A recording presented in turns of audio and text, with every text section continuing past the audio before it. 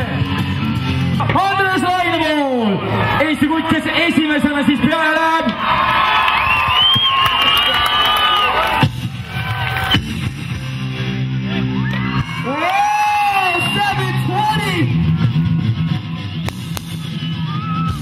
This young man has so much talent on a BMX bicycle. Street riding, park riding, you name it. He made the finals earlier this year. He has got a lot of fans out there. Tell me, what do you think about this?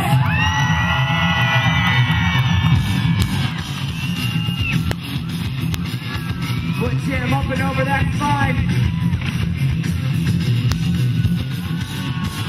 Truck driver, no problem.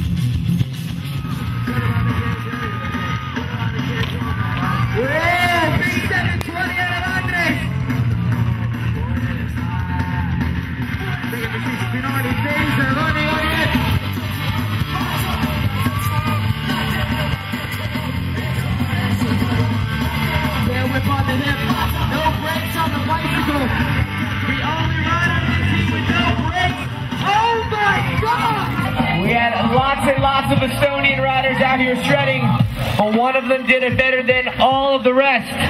And you know his name, Andres Lainevool!